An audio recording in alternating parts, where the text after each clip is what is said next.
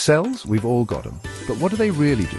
Welcome to the magical world of cells, the building blocks of life. Every living thing, from tiny bacteria to giant elephants, is made up of these amazing little units. Let's break it down. Cells handle growth and repair by dividing and replacing old or damaged parts. They're like tiny factories producing energy, usually in the form of ATP, to power all life processes. And they're super clean, eliminating waste materials regularly. Cells also reproduce themselves through mitosis or meiosis, and they're constantly responding to their environment. Think of them as mini guardians moving substances in and out through the cell membrane. Now, the organelles, these are the cell's inner workers. The cell membrane controls what comes in and goes out. The nucleus is the control center, holding DNA. Mitochondria are the powerhouses producing energy.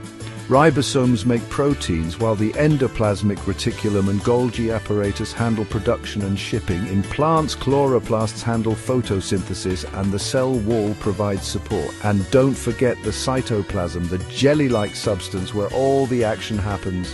So, next time you wonder how life functions, remember it's all thanks to cells. Keep exploring, science enthusiasts.